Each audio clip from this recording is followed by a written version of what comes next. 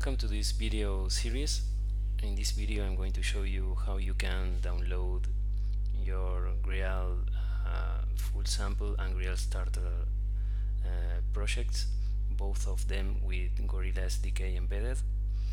Um, for those of you who don't know um, what it is Gorilla, um, Gorilla is a free XAML previewer uh, that uh, uh, we provide okay? So uh, it will allow you to uh, see your changes your XAML rendered in your devices okay?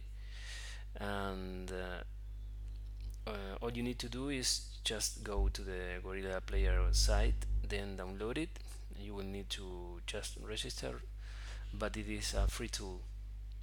And it is available for Windows and Mac OS okay?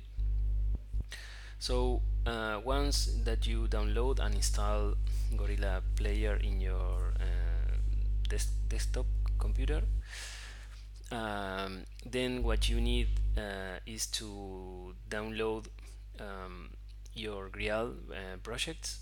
Uh, and in this case uh, if you look here in the download drop down uh, you would see that we provide the both of them the Grial starter and Grial full sample both of them with the Gorilla SDK embedded.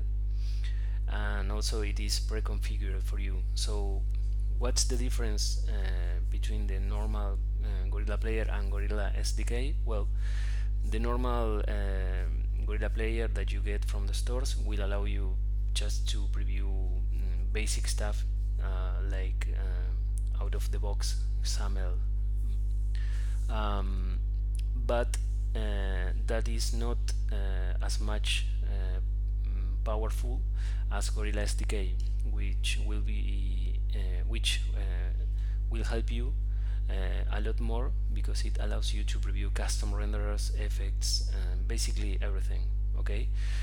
Um, so in order to use the Gorilla SDK you need to configure it on your solution so uh, in order to, to get those just simply uh, locate your uh, application in the my register, register apps uh, on the Grial UI kit I mean. then click the download drop down here and select uh, each one uh, of the projects you want to to download. I have already downloaded both of them so let's continue on part 2 of this video series